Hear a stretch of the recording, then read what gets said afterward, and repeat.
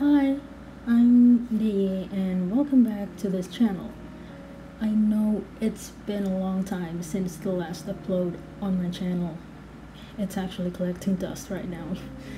So I'm just gonna give you guys this Yamayachi speed paint I did for Yamayachi week event on Twitter. That was done on mid-October. I initially had something different prepared for this channel, but since it was filmed with my previous phone, I can't give you the content. Because, alright, hear me out. This is gonna be very ridiculous. My phone got washed in a washing machine just before I got to finish editing the videos. Huh, I know, I'm dumb. I check my pocket before putting my pants in the washing machine. And now it's dead and I can't salvage the remaining files of the recording. I had some of them backed up in my Google Drive, but I don't want to give you guys incomplete content. But I don't know, I might go back to the available recordings and see what I can do with them. But in the meantime, I hope you're happy with this little speed paint.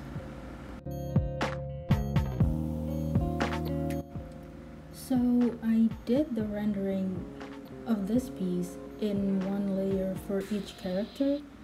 I'm using Procreate's default flat brush under the painting section. I wasn't actually too keen on painterly style like this before, but once I tried it, I'm like really addicted to it. Uh, this Yamayachi Week event had seven prompts for artists and writers to make something about, and I wanted to give you all of the painting processes of all seven artworks.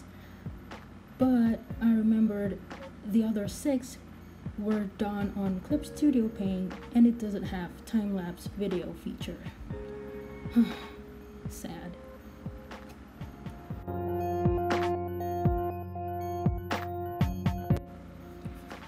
This piece was for day 5, I believe. One of the prompts was time skip. Now, this is also the reason why I painted this particular piece not with Clip Studio Paint like the other six.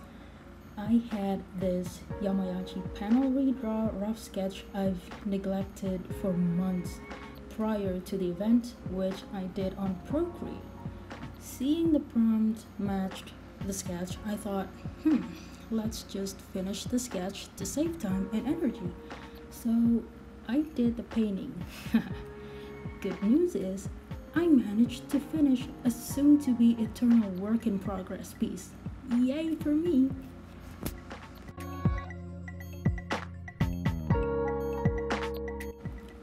A little tip for you guys who wanted to try painterly style like this is for me to just keep painting as if you're sculpting a statue.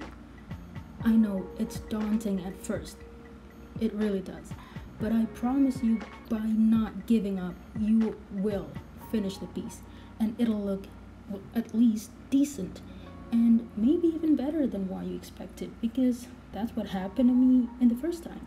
I thought I couldn't do it, but you know, it's actually not as bad as I thought it was going to be. And as for the background in this piece, I, you know, did a really, really, really lazy move by just, you know, slapping some solid colors with random foliages here and there because to be honest this piece was done in a hurry and I got other chores to do that day.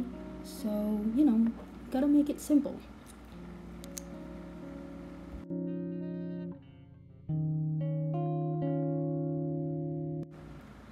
Alright so I'm gonna stop here and let you guys enjoy the rest of the speed paint.